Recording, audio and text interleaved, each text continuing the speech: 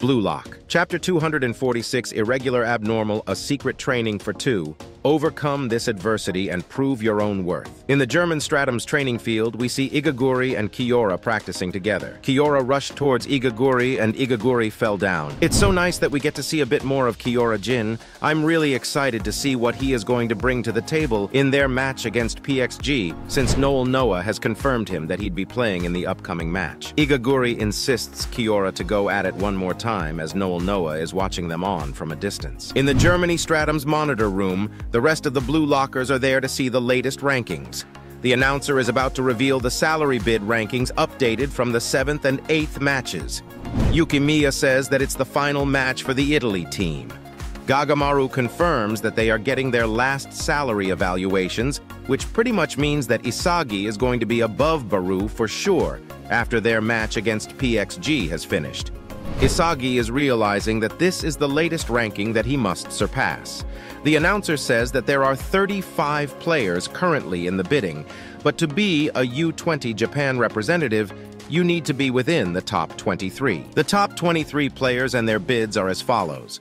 Raichi is 23rd with a bid of 18 million yen, Hiyori is 22nd with a bid of 20 million yen, Zantetsu is 21st with a bid of 23 million yen, Tokimitsu is 20th with a bid of 23 million yen, Fukaku is 19th with a bid of 28 million yen, Gagamaru is 18th with a bid of 32 million yen, Kurona is 17th with a bid of 34 million yen, Reo is 16th with a bid of 34 million yen, Karasu is 15th with a bid of 35 million yen, Yukimiya is 14th with a bid of 36 million yen, Sendou is 13th with a bid of 37 million yen, Niko is 12th with a bid of 40 million yen.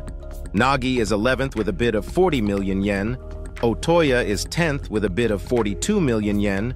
Ryu is 9th with a bid of 45 million yen. Kunigami is 8th with a bid of 50 million yen. Chigiri is 7th with a bid of 55 million yen. Aiku is 6th with a bid of 60 million yen. Bachira is 5th with a bid of 79 million yen. In fourth place, we've got Shidou with 100 million yen, which is rightfully deserved as well. Barou is third with a bid of 150 million yen, as he's tied with Isagi right now, but that's probably going to change. And then we've of course got Itoshi Rin with a bid of 198 million yen. Sendou was happy making it into the top 13, which is a byproduct of his goal against Manshine City as Nanase fell short at 24th place, although he still has the opportunity to get within the top 23. Raichi made it to the top 23, but just barely. Meanwhile, Nagi and Reo are in the top 11 and top 16, respectively. Nagi realized that it was dropping as Reo told Nagi that if they stayed like this, they definitely needed to change something. Reo is totally right because if they don't, it could quite literally mean their end. Nagi should take Barou's words into consideration. Shidou looks to be happy with his 100 million bid as he realizes that number one is within range. Barou doesn't like the fact that they're tied at 150 million though, as he calls him a loser.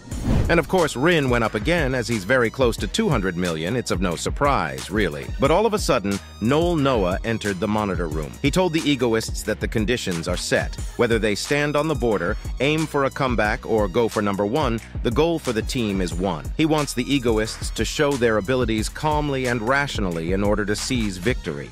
They are about to hold a strategy meeting for the final game. We move to PXG, their locker room now, as Loki tells the egoists that they've done a good job. PXG is a singularity. Loki will tell them their points to improve, like he always does. From this interaction, it looks like Loki is way more direct with his teachings than Noel Noa is.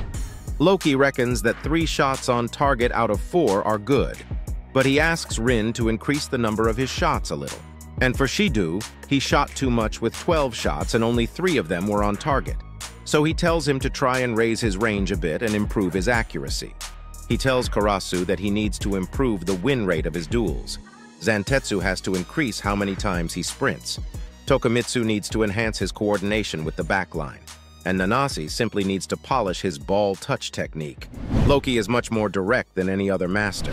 The only master that comes remotely close is Manshine City's Chris Prince. Loki is still talking, but Charles had different ideas as he was slowly leaving the room, so Loki kicks a ball at him.